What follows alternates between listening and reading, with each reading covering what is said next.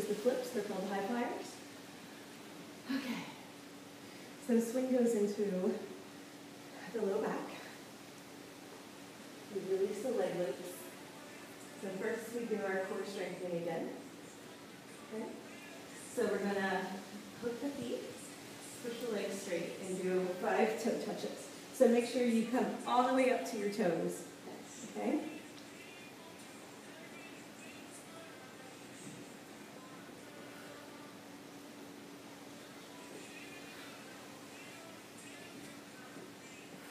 On the last one, grab for your ankles. Grab the swing right by your ankles. So come down, grab the swing right by your ankles. Come on down. Yeah, just use the momentum to grab and then pull yourself up. Bring the legs wide. Yeah, pivot point of the hips. Okay, great. So I let I like the swing to kind of be on a diagonal because it is a big squeeze. Yeah. Good. Okay.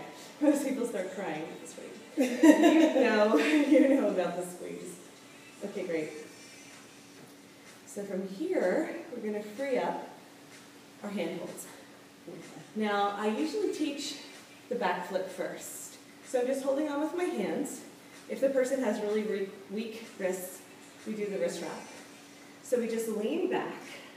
So lean back and just let the chest and stretch.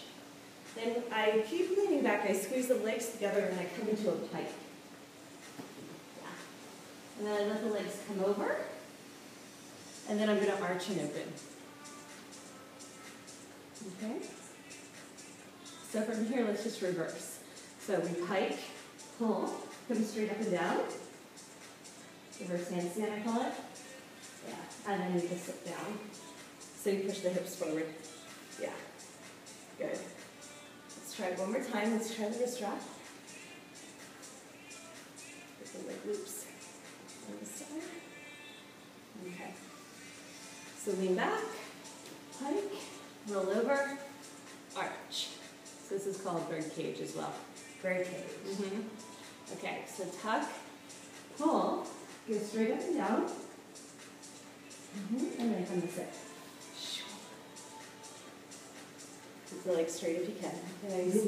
Okay, so now to come forward, we lean forward, which is a little bit of a thing for the arms, so other way. Uh -oh. so your elbows have to face the sky. So you lean forward and bring your elbows up. My shoulders don't want to do that. They do. It's not like this. It's not this way. It's this way.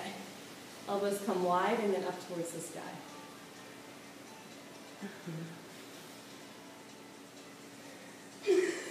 so it's like this. You're pressing into a push-up. Elbows are towards the sky. Just try it. Push up. Elbows up. Not a pull up, a push up. So elbows towards the sky. Oh, I'm having my hand in the wrist lock. Oh, okay.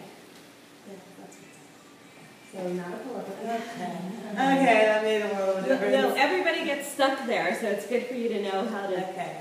how to um, lead somebody through that, because everybody does this, which is just not going to happen. Yeah. Okay, so this is elbows down, like a pull up.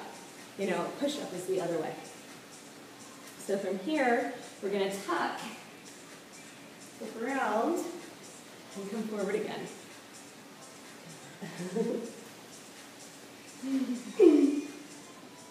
oh man, I'm too low. Yeah. So that's yeah, your shoulders. Get, if I get too low, I can't get into it.